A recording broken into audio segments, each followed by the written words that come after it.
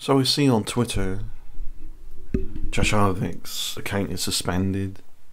I don't know what the reason is, but uh, Twitter is utterly pathetic in its worldview, and this is what's wrong with Facebook as well. You know, uh, forcing words to be used in a particular way because it's assumed those words are within a deliberate context from the unit user who's using those words. It's you know it's that mindset of you can't say this or that because those words associated with this other context that uh, other people might find offensive. Well, you didn't intend that context in the first place like the programming references or when you're upgrading a laptop, upgrading my laptop, I had to take off the whitelist, which automatically is blacklisting um, certain types of hardware. I took it off from the BIOS and it now accepts a chip that is better for the uh, processing of the Wi-Fi signal and granted I had to modify that chip and cut one of the pins off before I put it into the laptop. It's a nine year old laptop and I've made it somewhat 2020 viable by upgrading it. Um, the next main upgrade would be an external graphics card.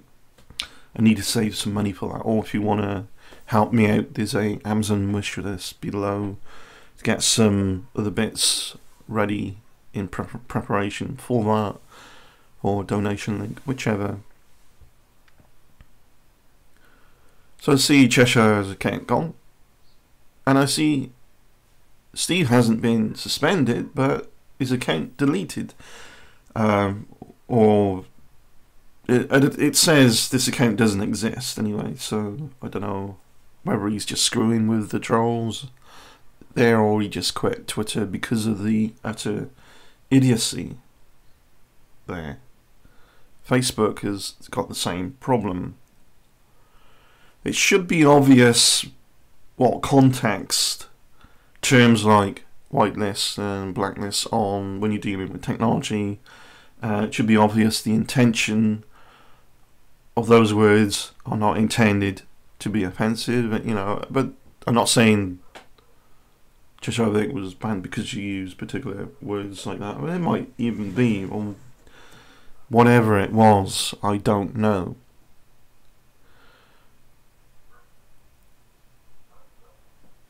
But it, it just blows my mind that political correctness then uh, is prescriptivist. The kind it, it's so damn pathetic. It's eroding, corroding and degrading the quality of information. And it, you know it's degrading the ability to deliver how information is meant to be perceived and how people understand it. And why certain terms and words are used within a context. Everything should be considered with context. And this is what these snowflake trolls do over the YouTube, you notice they always take things out of context. They're not smart, and there's some cognitive impairment going on there, I think, which maybe they could go and get help for that. I don't know. Um, but, you know, it seems to be an intentional thing sometimes as well. Intending to drag words out of the context that they're already meant to be in and twist it around. And you know the media do this all the time as well. They twist people's world's view worldview on a particular subject matter. Um, can't remember what book it was. I read it was a long time ago, and I can't remember the full paragraph. But it pointed out this, and it was the concept burnt burnt in my mind there. and that is you could have a whole paragraph that's talking about, let's say you're working for this production company or on a factory floor or whatever, and there's a big meeting one day about somebody joining the firm and they're going to be good for the firm. They're described to you cold, hardworking, works to deadlines, team player, productive. Okay, you might think, oh, it might be alright for the company, but I don't want to socialise with this person after work. Why? Because of that one word. Only one word. The first word and everything else gets filtered through that first word's emotional worldview, cold. Now change the word to warm. Suddenly this is somebody you want to work with on the in in the environment, in the factory, or whatever place it is. You know, just imagine something. And you want to socialise with them after work. They seem they suddenly sound like somebody who's well worth getting on with. So the worldview, the negatives, is a projection of uh, you know those who taking it out of context and saying, "Oh, you, you can't say this, can't say that." It's because it's what they would do. Those enforcing political correctness because they're supposedly scared you might upset this group or that group are doing that because they are the ones who would do that rather than the ones being accused.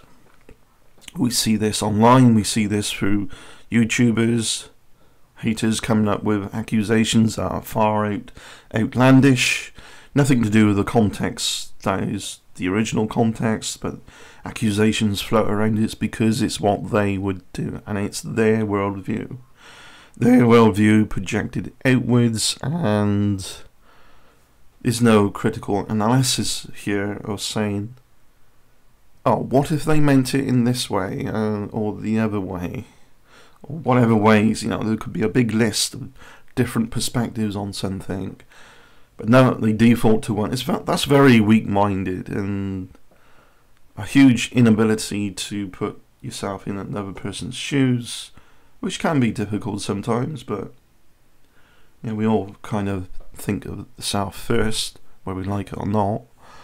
Um, but nobody's entirely altruistic. But there's ways to be a better person there's ways to run businesses better as well, I think. Um, ExploratoryMinds.com, I try, you know, on my tiny, tiny, one, one micron of a grain of sand, if you will, on a big beach of websites. So we have this tiny user base. But the concept for using this, you know, at the moment, you know, I hope if it got big, I wouldn't I would hope that I avoid these pathetic stumbling block blocks that ends up uh, with such dictatorship of you you shouldn't say that shouldn't say that don't do this don't do that these platforms need to focus somehow and there will be a way because where there's a will there's a way to deliberately deliver the information of the intent behind the words and the context. Context is everything here. The context of the words because you know just reading words can, things can get misconstrued because you haven't got that body language that I'm writing about from the person actually on video. I'd love to have a little video section for the website where people can um, through the server communicate, but uh, I don't have those types of resources. Of course, uh, YouTube is a uh, video platform where we can do that, but you know, I'd like to give my users that. I can't afford that. You need a lot of processing power to do all these things. and processing power is expensive. It's you know need the server space and so on. Regardless, there is private chatting, and you create your own chat rooms, um, write your own blogs, and so on. We make a point of leaning away from confirmation bias, which again it can be related or sub-related to taking things out of context in in a way. Like you know, you know, you could say, "Oh, this is not true because of an insert reason here," and then the opposing person say, "Well, that's not what I meant. You took it out of context. You." You're very biased about the information there that confirms what we already said.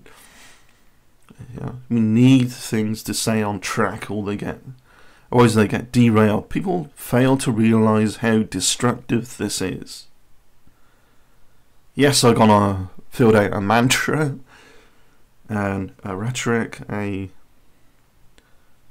narrative based on somebody getting suspended on Twitter, but don't take that out of context. The point is why people are getting suspended here and there. You think with a huge user base and uh, the apparent, whether they are or not, the apparent um, focus on the rules and passion about their own rules, you think it would say account suspended, insert reason here, but no, it just says account suspended. And there's a link to the Twitter rules, which uh, probably clear clear as mud anyway.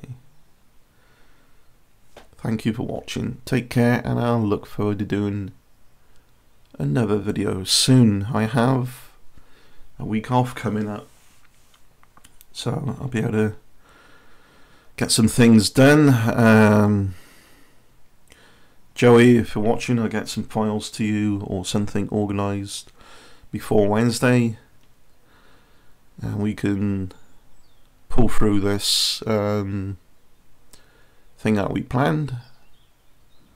Looking forward to it actually. Cheers. Bye everyone. Peace out.